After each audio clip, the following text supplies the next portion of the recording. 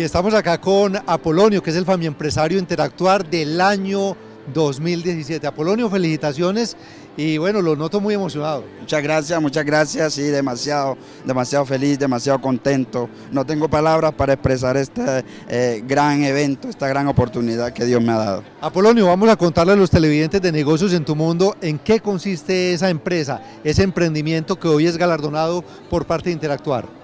Eh, consiste en una empresa de, que nació en el 2001 de una empresa de lácteo, como vimos, eh, empezar produciendo 20 eh, litros de leche después de ser un minero informal, pasar a ser un vendedor ambulante y hoy en día ser un empresario premiado por el FAMI Empresario del Año. Bueno, por ahí decían, inclusive en la parte de la premiación, que de minero a empresario de oro. Así que, Apolonio, vamos a compartir con los televidentes de, que nos ven en diferentes países de Iberoamérica eh, sobre cuál ha sido ese camino del emprendimiento qué grandes satisfacciones ha tenido y luego vamos a hablar de momentos difíciles. Primero hablemos de lo bueno. De lo bueno, lo bueno es que durante este tiempo he podido sostener mejor mi familia, he podido crear mis hijos, educarlos. Eh, tengo un hijo que es eh, profesional, contador público. Eh, atrás de este negocio, de esta empresa, he podido también construir mi casa, he podido superarme como persona, ser hoy en día un bachiller después que era un analfabeta y todo eso lo he podido ir logrando durante este tiempo en, la, en el ritmo de la empresa. Apolonio, y ahora vamos a recordar algunos de esos momentos difíciles, pero sobre todo, ¿qué enseñanza le quedó de ahí? ¿Cómo lo superó? Sí, también hubo momentos difíciles cuando de pronto la escasez de la leche, que es la materia prima muy dura en esa región, casi no se consigue, pero también lo pude superar porque cogí una carreta a vender por la calle, eh, tuve la oportunidad de conseguir una moto y poder trabajar mototaxi también para ir sosteniendo también la empresa y sosteniendo la familia. ¿Cuáles son esas actitudes, esas características que usted considera que debe tener un emprendedor para que le vaya muy bien, como le está yendo a usted, mire ahí, con su trofeo en la mano y todo? Sí, las características son una persona que, que siempre piense en salir adelante, que no le importen los obstáculos, que no hayan barreras, o sea, por difícil que sea, eh, que siempre se diga dentro de uno mismo si se puede, si puedo avanzar, si puedo pasar el obstáculo, si puedo pasar la barrera.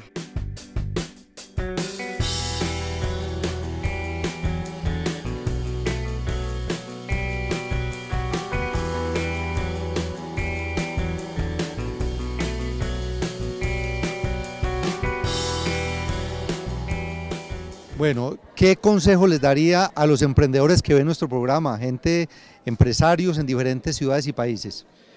les doy un consejo a todos los que me están viendo y que quieren salir adelante también, es que no, no importa la calidad de persona que seamos, ni la cantidad de dinero que tengamos para empezar un negocio, sino nuestras ganas, nuestro esfuerzo y nuestra voluntad diaria, consistencia y firmeza.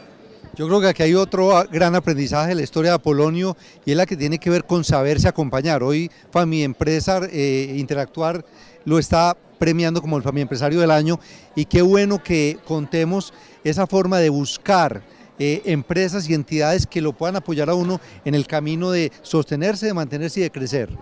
Sí, es muy bueno porque eh, como he estado en el programa Avanza, eh, recibido las capacitaciones de, administrar mejor la empresa desde la parte administrativa, contable y hacer una publicidad, poder entrar a tener una cámara de comercio y estar más legalizado. Bueno, Polonio, el saludo final para empresarios que ven el programa. Eh, quiero saludos, les digo que lo felicito a todo aquel que tenga las ganas de ser un empresario también y de salir adelante y que sí se puede.